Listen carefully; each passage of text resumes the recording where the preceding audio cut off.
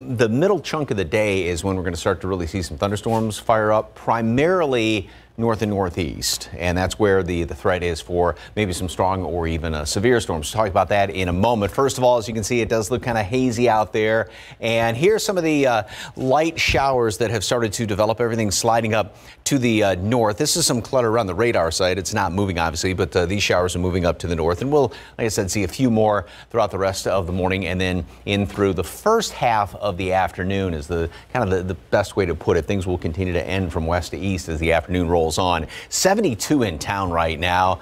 Yeah, we are a good, so on average, 15, 10 to 15 degrees above normal right now. Obviously, a slew of humidity out there. Mold and oak are both on the moderate side, little bits of everything else. And throughout the day, uh, showers, maybe a thunderstorm by uh, 10 o'clock mid morning, and then by noon, we'll see a few more showers and thunderstorms, and that's going to be through the middle part of the afternoon. Then things are going to start to kind of wear off, and things, the storms will be primarily off to the east later on today, and then we'll actually begin a clearing process later on tonight a little bit. 85 for a high temperature today. Storm Prediction Center still has uh, New Braunfels and then up toward portions of the hill country over toward Gonzales under the marginal risk for a severe storm, and then that gets ramped up in toward Austin, and then way up up, far northeast portion of the state, that's where things are going to really get uh, pretty nasty later on today. So we have the small risk for something to be on the strong to severe side. High winds and hail would be the biggest threats with that. After that, we've got a great stretch of weather. It's going to be hot and then not as hot. Details coming up in just a couple of minutes. Time saver traffic right now.